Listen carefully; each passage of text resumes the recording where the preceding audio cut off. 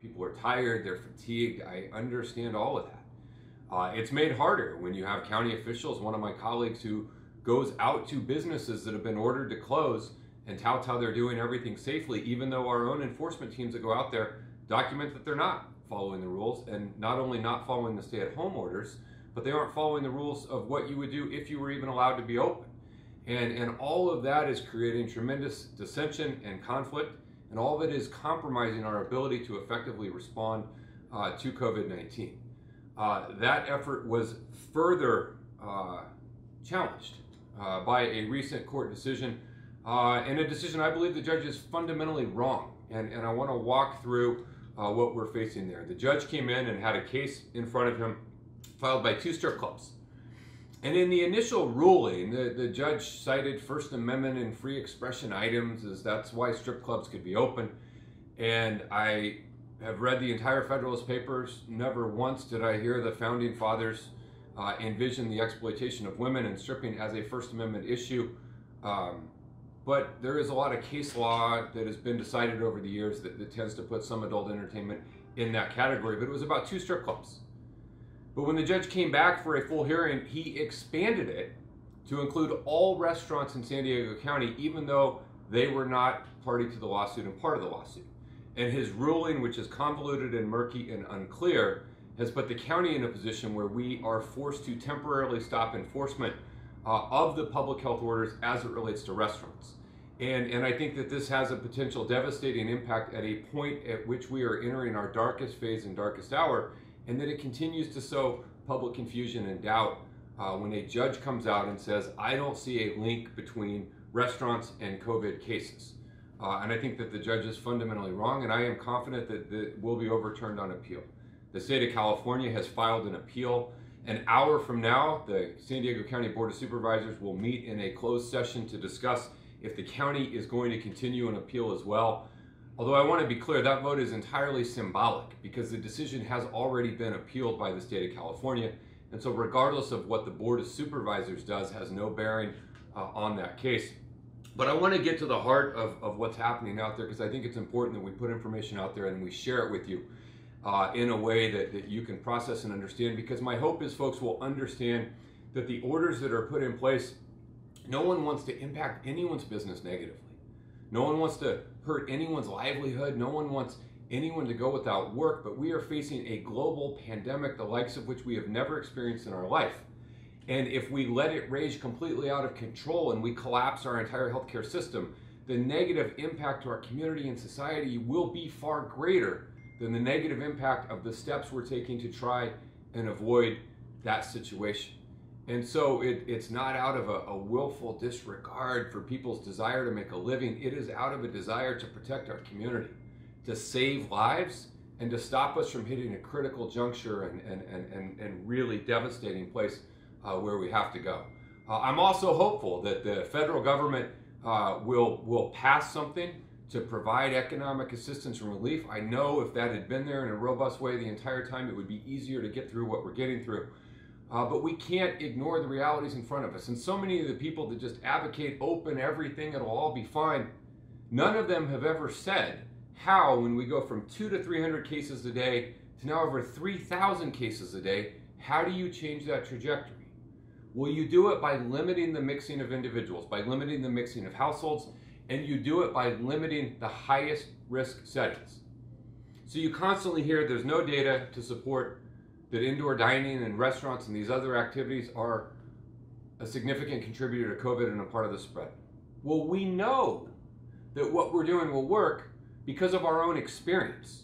If you think back to June and July, we had a significant spike in cases and we took measures incredibly similar to what we're taking now. And it wasn't magic that the cases came back down. Because when you limit high risk settings, particularly indoor settings where folks are not wearing a face covering like you see in a restaurant type setting, when you limit the mixing between households, you limit the transmission of COVID 19. We also know when you look at people who get infected that one of the highest categories of workers who contract COVID are food service workers and restaurant workers because that is where it is most prevalent and where it spreads the most. One of the only ones that's higher is healthcare workers Well, that makes sense. They're indoors, they've been open the whole time, and they're exposed to COVID patients. But we know because of that. But one of the things that you hear time and again is, is, that, is that you can't show based on the people who got COVID that they all got it at a restaurant. But think about how that works. If you get COVID and a case investigator contacts you and they say, Where's everywhere you went in the preceding 10 days? How are they supposed to ascribe which one of the 25 different places you went is the one place that you contracted it? Would be irresponsible to try and do that. It is, it is highly unlikely that they ever do that. We talk a lot, there's a lot of talk about outbreaks, and we've talked a lot about this here. But all of the cases tied to an outbreak represent less than 5% of total cases because it is exceedingly difficult to pinpoint exactly where someone got it. But there is volumes of data that tell you what the highest risk settings are. Not only our own experience, not only the data surrounding which workers are, are most likely and contracted in the highest numbers, but a volume of data that tracks the spread of COVID 19 and how it spreads and where it is most likely to spread.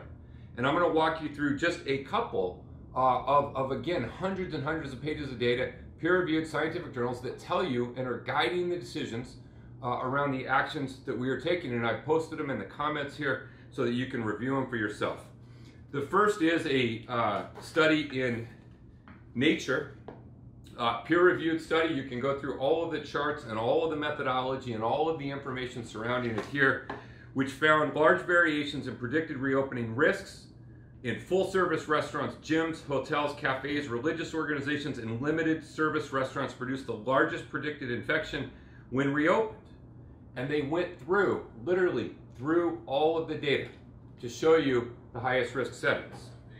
The second one we have here is a CDC study that, that talks about outbreaks associated, right, with air conditioning restaurants, particularly in China.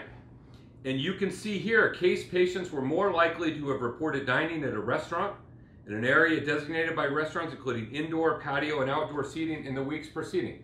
Center for Disease Control, CDC study that walks through it. Let's go to another CDC study.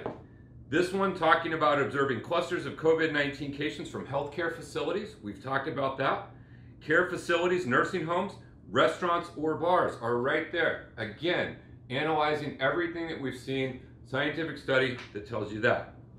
Next, you can go to one published in Science Magazine, right, which walks through business closures and gathering bans have been effective at reducing COVID 19 transmission, closing most non essential face to face businesses was more effective, right? And in particular, it talks about the highest risk settings being bars, restaurants, and nightclubs in table one.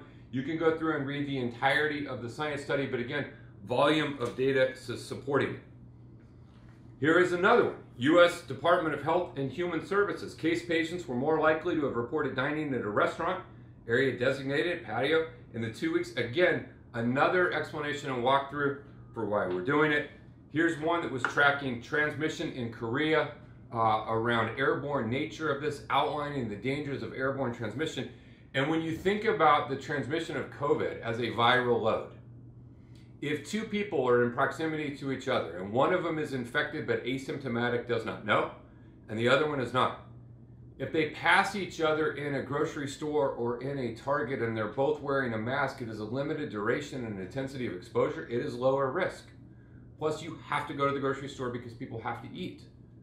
But when two people sit and one of them is asymptomatic but has COVID and one doesn't, without a mask for an hour or an hour and a half, talking and joking and telling stories, as you do in restaurant type settings, it is exceedingly high. And so to have a judge come out and say that there's no data to support that restaurant settings are more dangerous is defying thousands of pages of research our own experience with what we went through in June and July, along with the information around who's contracting it.